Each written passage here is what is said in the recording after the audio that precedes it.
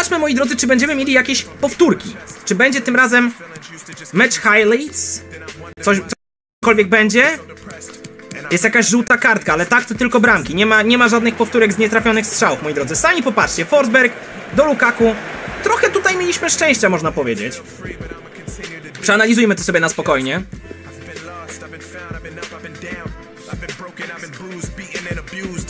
Ojej!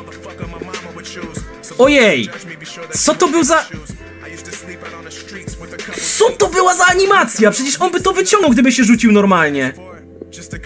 Chłop przeskoczył nad piłką, patrzcie!